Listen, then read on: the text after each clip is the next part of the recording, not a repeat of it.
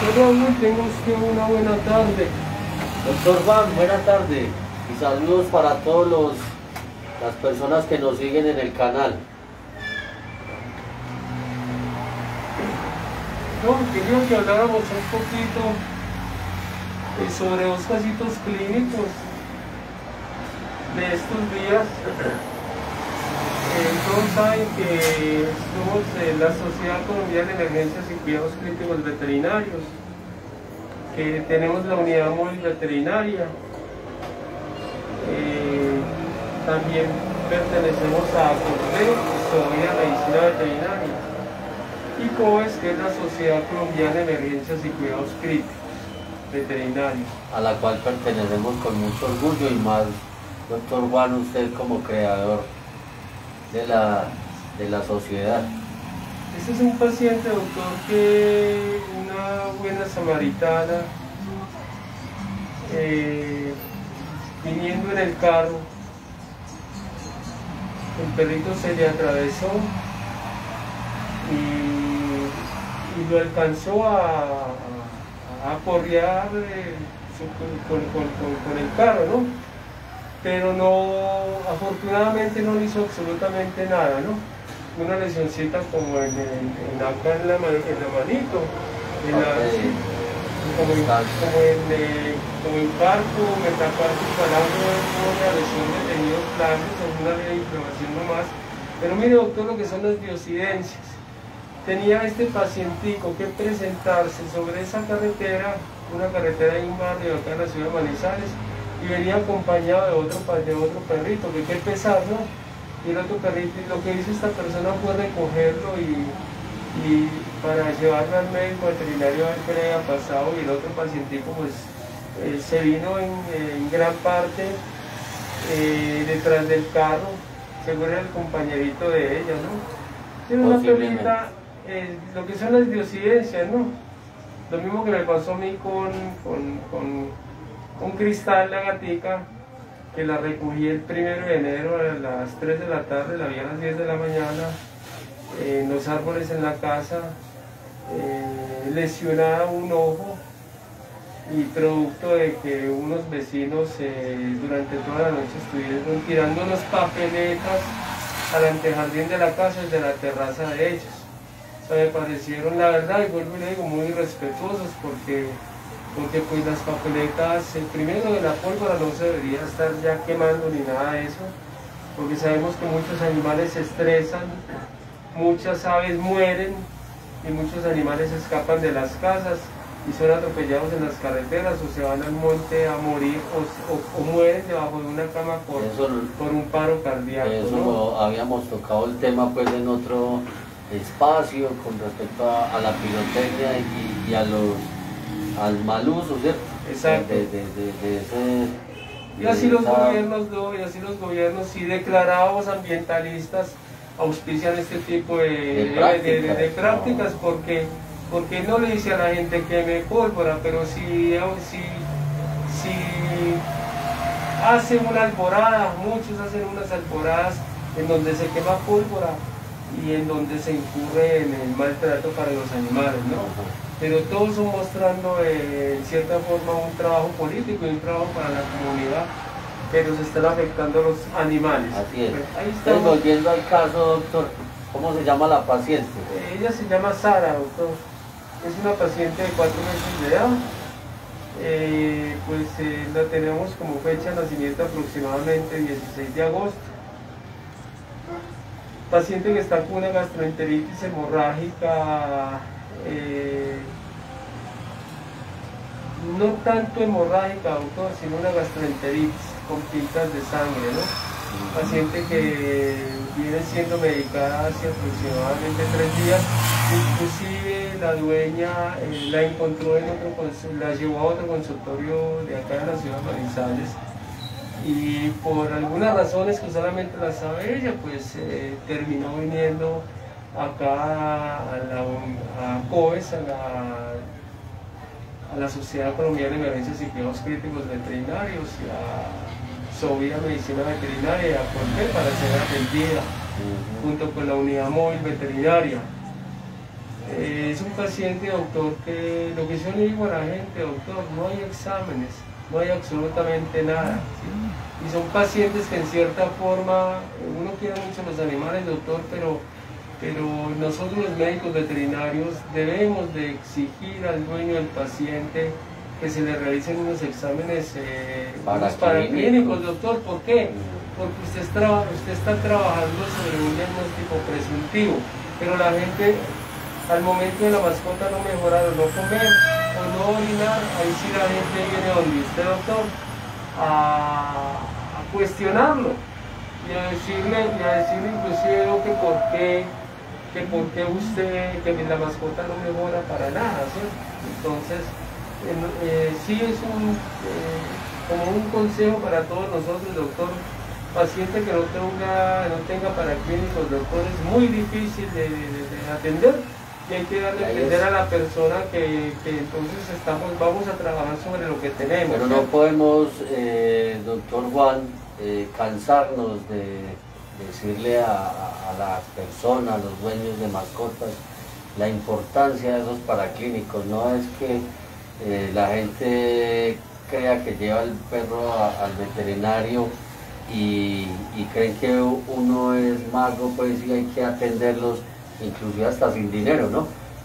Pero que como, toda, eh, como todo paciente necesita una evaluación clínica por medicina interna y más si es un paciente crítico necesita sus, eh, sus valoraciones para poder llegar a un diagnóstico y mucho más claro de un paciente y no trabajar tan empíricamente. ¿no? Es que mire doctor eh, Raúl Antonio que ha sido muy difícil trabajar, porque todo el mundo le trae un paciente muchos de estos pacientes no son vacunados, le traen un paciente y, pretenden de que uno haga absolutamente todo eh, sin, exámenes. Yo vuelvo y lo digo, eh, los exámenes, doctor, no son para hacer diagnóstico, los exámenes son para que el clínico corrobore lo que está sospechando.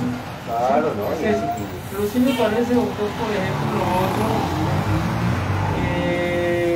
nosotros como médicos veterinarios debemos de exigir a los laboratorios, exigirles, doctor, que, cuando les mandamos una muestra de sangre, el laboratorio eh, nos haga un, extendido de sangre periférica, doctor, un frotis de sangre periférica, porque es que eh, a veces los reportes, en los reportes digamos aparece eh, que los leucocitos están aumentados, los neutrófilos aumentados. Ese reporte lo hago yo, ese reporte lo hace cualquier médico veterinario o cualquier persona que no conozca, no necesita saber que eso se llama ese leucograma o que ese plaquetograma o ese eritrograma, no necesita saber cómo se le dice cuando están aumentados, simplemente dice lo que yo veo es que esto está aumentado. Bueno, no, usted, toca un tema, usted toca un tema también muy álgido y es la calidad de esos paraclínicos, ¿cierto?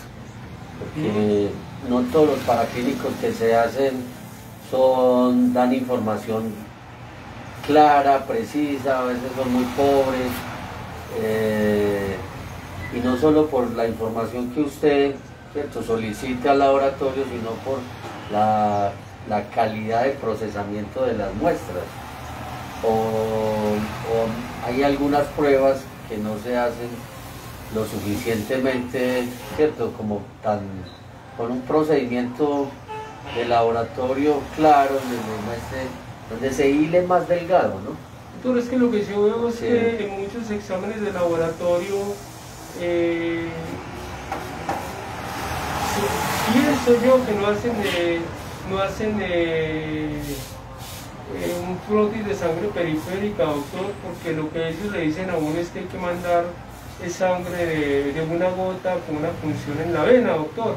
Doctor, pero si es que solo esa gota, ese punto, ese punto 5, ese punto 0,5 ml, doctor, que se necesitan para hacer un extendido de sangre periférica, doctor, eso lo pueden sacar del frasco conecta que uno les manda, doctor, porque es que uno les manda eh, más o menos un ml, ¿cierto? Ya, sí, sí, entonces eso lo pueden sacar de ahí, ¿cierto, doctor? Porque... Con coagulante y sin coagulante. Exacto. porque un paciente, un paciente que, que está mostrando una leucocitosis con neutrofilia, por decir algo, pues el laboratorista clínico, doctor, debe saber que debe hacer un extendido periférica y no esperar a que uno la mande. ¿sí? Lolita, venga, venga para acá. Y no esperar a que uno la mande, doctor, ¿por qué? Porque es que una leucocitosis con neutrofilia, doctor, no está hablando de un proceso séptico, de un proceso inflamatorio. Pero yo de donde, por ejemplo, eh, si, si, no hay un extendido de sangre periférica, doctor, no me está mostrando qué tipo de neutrófilos hay, cuál es la forma de los neutrófilos. Si hay La morfología, la morfología clara. ese cuadro blanco, doctor. Entonces no las está mostrando, ni me está mostrando la morfología roja ni nada de eso, doctor. No me dice si hay células centinol, no me dice si hay equinocitos, ¿sí? no me dice absolutamente nada. ¿sí? Lolita, entonces no me dice absolutamente nada, doctor. Entonces, es, es, eh, a veces son exámenes muy raquíticos en donde, La calidad de la pues, información, eh, sí. ahí le digo yo, muy pobre porque Sí, falta de precisión Entonces, en doctor, los parámetros. entonces a veces uno dice, a veces uno dice, doctor, pero es que no hay monocitos, doctor, doctor, monocitos se, debe ver en toda muestra. En toda muestra se deben de ver monocitos y osinófilos. Un basófilo pues son raros. Pero la mayor parte de las muestras debe mostrar, ¿por qué? Porque yo necesito saber si, por decir algo, esa neutrofilia tan violenta, por decir algo, un paciente tiene una neutrofilia de- demasiado alta, yo necesito saber si hay monocitos o no.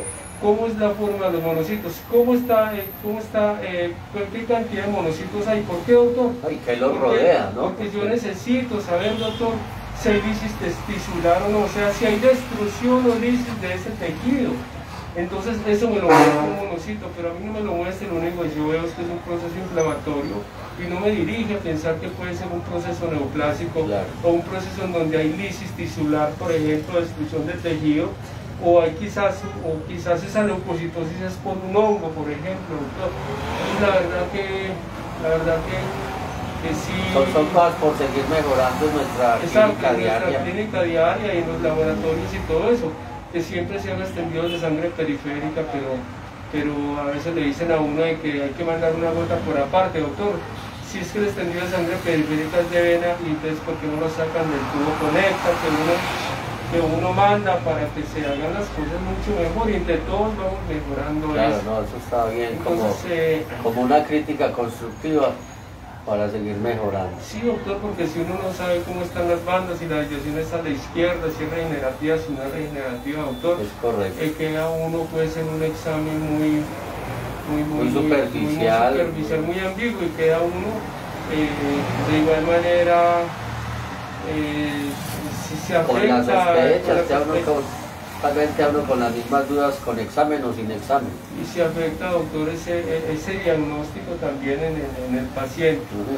Entonces Bueno, sí queríamos mostrar eh, que, que sí quería hablar sobre eso.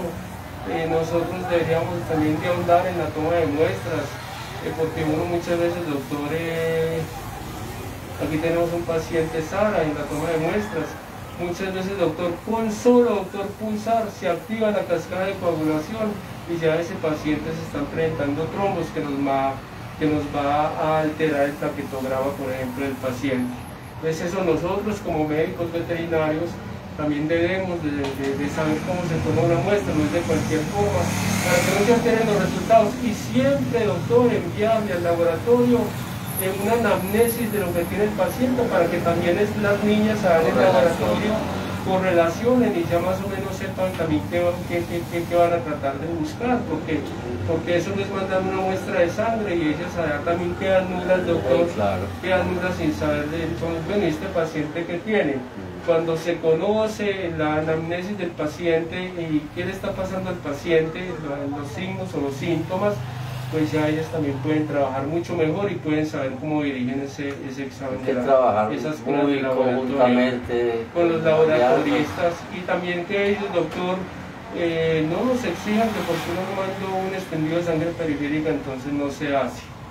Eh, hay que hacerlo para nosotros poder diferenciar esas células también, doctor, y poder hacer un, es, esclarecer esa sospecha de ese diagnóstico, porque vuelvo y lo digo, los exámenes no son para hacer diagnósticos, son para corroborar lo que el médico piensa. Sería lo ideal, ¿cierto? Es eso, doctor, entonces vamos a pasar a mirar a la gatita.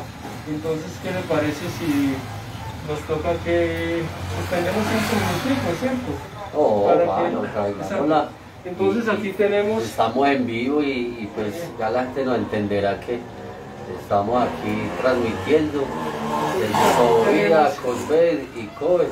Entonces aquí tenemos a, a Cristal, quería mostrarles a Cristal, muchos de ustedes vieron a Cristal, a Cristal el, el, ojito. Un saludo para Nir Schweizer. Y nos está viendo otro amigo desde Rusia. ¿sí? Pablo ahí está. Y aquí podemos ver esta gatica que fue recogida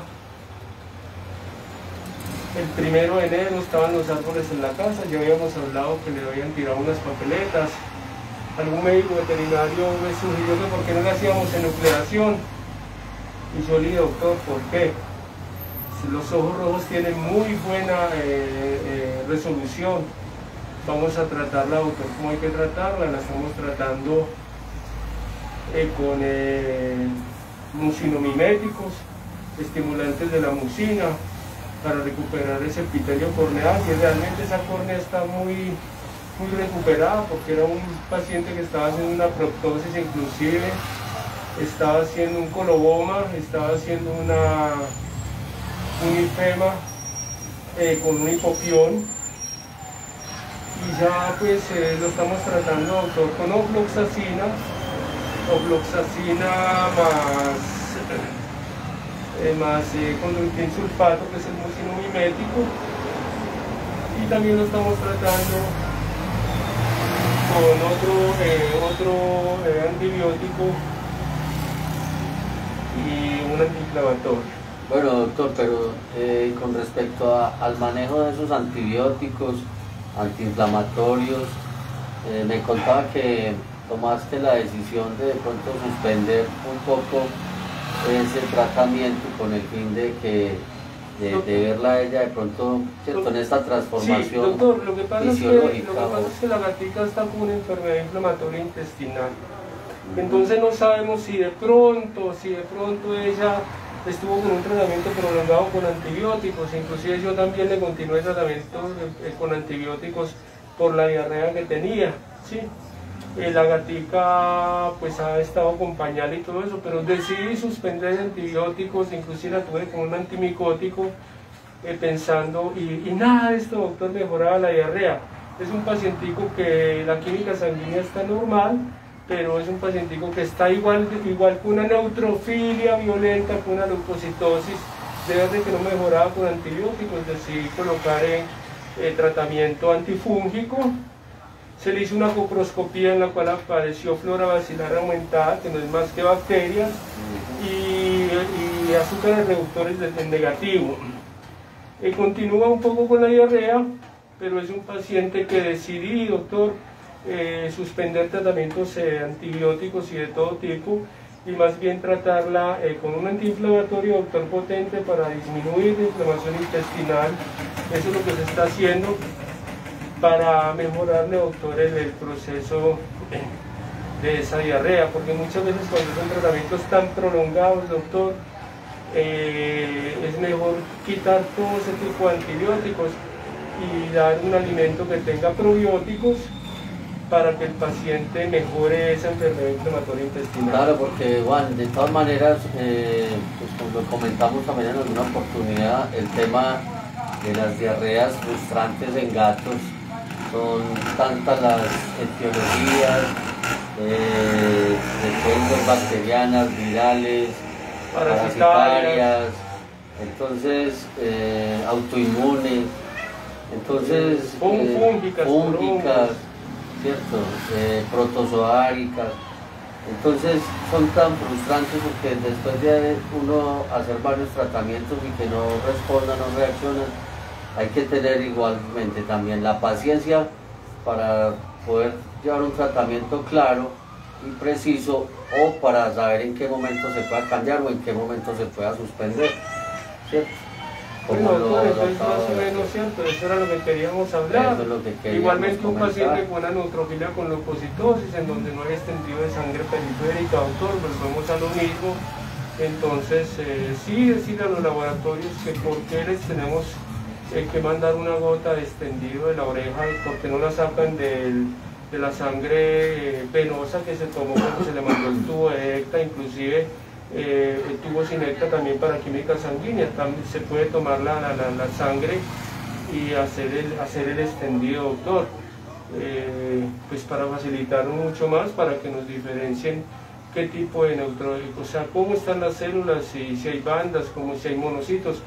Eh, a mí pues un laboratorio que me diga de que no se encuentran monocitos en ninguna muestra casi nunca, no, los monocitos siempre se tienen que ver, doctor. Y es muy importante lo mismo los eosinófilos y las otras células, las bandas, por eso el extendido de sangre periférica.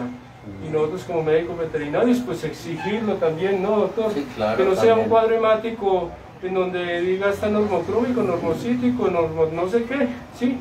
Y donde hay una leucocitosis con neutrofilia y eso no dice absolutamente nada, ese reporte pues lo puede hacer uno, entonces para el laboratorio sí que nos mande los, los extendidos de sangre periférica, que no, que no nos exija que lo tenemos que mandar en una gota par.